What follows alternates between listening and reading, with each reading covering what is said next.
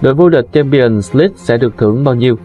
Nếu cộng dòng tiền thưởng từ khi nhận vé dự vòng bảng Champions League, tiền thưởng cho các chiến thắng ở vòng bảng và khoản thu nhập khác, đội vô địch cúp C1 châu Âu có thể nhận tối đa hơn 85 triệu euro, tương đương 4.675 tỷ đồng. Đây thực sự là số tiền khổng lồ, giúp họ mua sắm thoải mái ở thị trường chuyển nhượng ngôi sao. Rạng sáng mùng 2 tháng 6 sẽ diễn ra trận chung kết Champions League 2023-24 giữa Dortmund và Real Madrid trên sân Wembley ở thủ đô London nước Anh. Vừa qua nhiều đối thủ đẳng ký khác, Dortmund và Real Madrid đã có mặt tại sân vận động Wembley để tìm ra nhà vua của bóng đá châu Âu. Đội lên ngôi vô địch sẽ nhận 20 triệu euro, khoảng 551 tỷ đồng tiền thưởng. Đội Á quân nhận 15,5 triệu euro tương đương 427,7 tỷ đồng.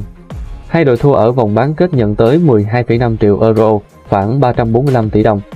Ngoài ra, họ còn kiếm được nhiều tiền từ các khoản chi khổng lồ khác của nhà tổ chức. UEFA cho biết tiền thưởng của các đội bóng dự giải đến từ ba nguồn chính gồm tiền bản quyền truyền hình, tiền thưởng theo hệ số và tiền thưởng dựa trên thành tích.